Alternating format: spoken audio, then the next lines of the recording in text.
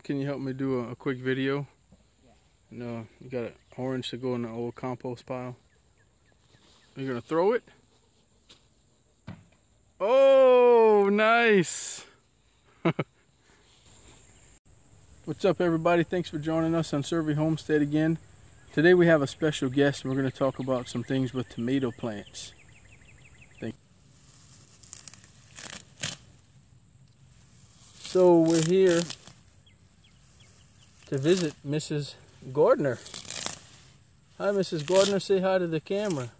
Hello everyone, thank you for joining me in my garden today. It's such a nice day, I'm just pulling weeds.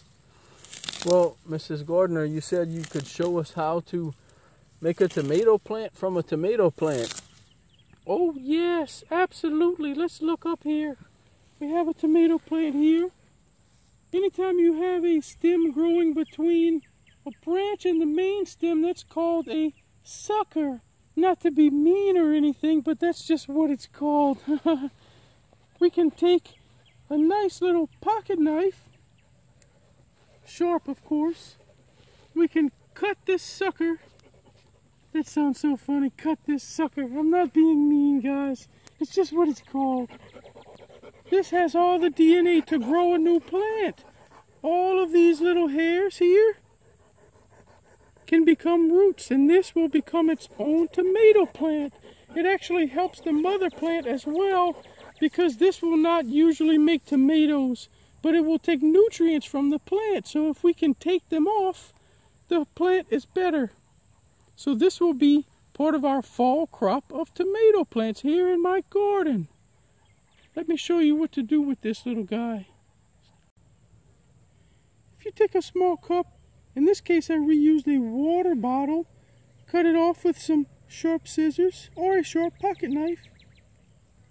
Put a little bit of good old H2O in there. I take my sucker, place it in there, and it will begin to grow roots. And look at that!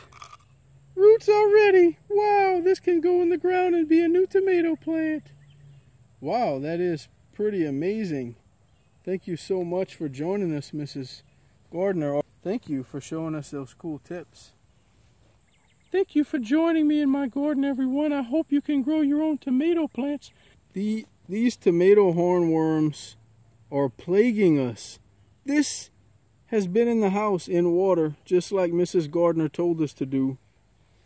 And look, this guy is on it. So he's been chilling in the house, I guess, all this time.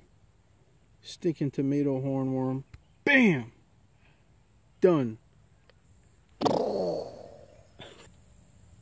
We have a garden bed. It looks a lot like Mrs. Gardner's bed. I just realized that. And uh, we still have tomatoes here from the from before summer, and they're just kind of here.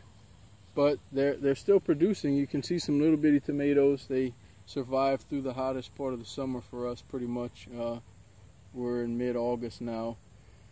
So I'm going to plant these as a part of our second little crop and I'm sure I'll get some more suckers. But um, we have roots so hopefully they survive. They actually stayed in the house a little too long because I didn't have a real good place to put them yet. But now we're ready. Pulled all the weeds out of this area and we're ready to go. You want to plant tomato plants as deep as you can, like right up to the, the first stems right there because like we just learned, you'll get roots from all of those little hairs. Oh look, a lettuce. Look, Sim, I had my butter crunch lettuce here. And look, somehow it's just it just made a new plant right there. That's pretty cool. I'm gonna let it stay there and see what it does.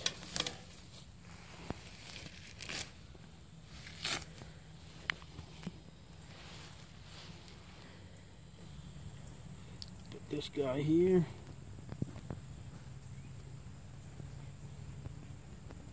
Pack it down well so that the roots are in contact with the soil.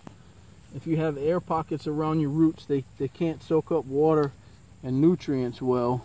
Oh, we got some ants in here. Uh, you weren't going to tell me, Sim? Just going to let me get bitten by ants?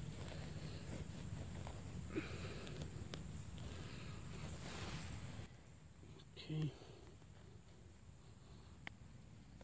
There we go. And hopefully this will be our fall crop of tomatoes. Thanks for watching SERVi Homestead.